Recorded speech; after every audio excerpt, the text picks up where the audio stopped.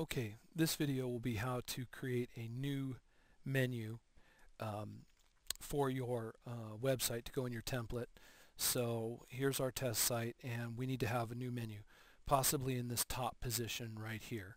Now first of all I'm going to check my positions and I'll put in index uh, dot php question mark tp equals 1 to see my menu positions and you'll see that there is a nice position for a menu right here in user 3 this is where I'm going to want this menu. It's the same position that I created my um, menu for danscourses right here. So we'll do that for this test site. So user 3 is the position that we're going to target. Okay so in test site here I'm going to go to menu menu manager and I'm going to hit new for a new menu and unique name it's recommended if you highlight over the information that this is a unique name and uh, no spaces in the unique name. So I'm going to say top menu. And then the title, I'll say top space menu. Notice the top one I didn't put any spaces. And I'll even change it to the top menu on the top one, no spaces title, top menu with a space. I'm going to leave the description out and then for the uh, module title I'm going to call it, the module title will be just top menu like that.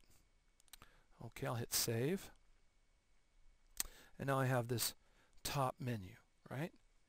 So now I'm going to go check out my module manager and in the module manager you see when you created the menu automatically a top menu module was created with the module type of mod underscore main menu.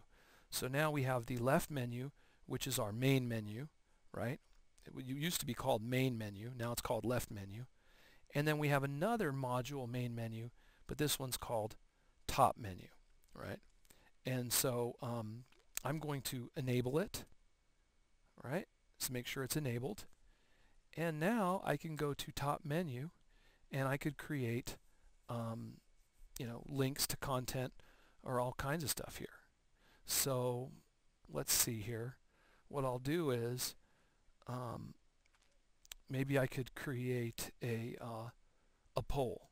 So I'm going to go to components poll and I'll say new poll and I'll say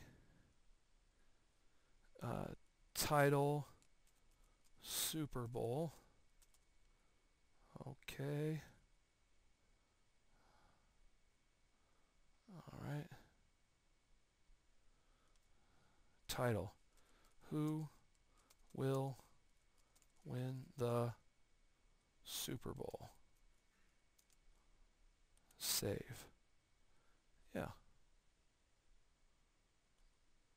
Who will win the Super Bowl?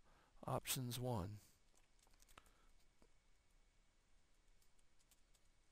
Uh, Colts. Who will win the Super Bowl? You could say next year's Super Bowl. Colts, Saints,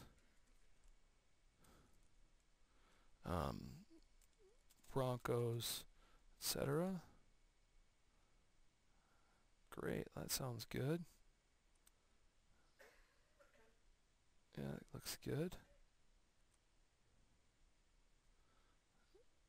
Okay, there's my poll.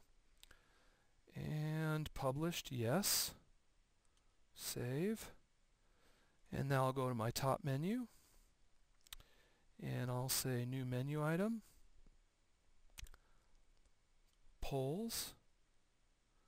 Poll layout. Right. I'm going to name the poll take a poll. Right? And display in the top menu. And select the poll, who will win next year's Super Bowl. And hit save. Yeah, that sounds good. Now if we go back to our home page, I'll click on home and refresh and it's not showing up here yet. So we have to see what's going on with that.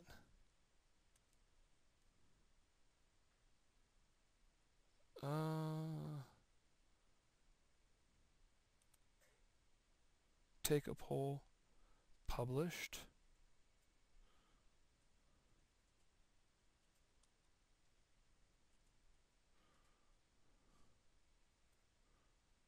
That looks good.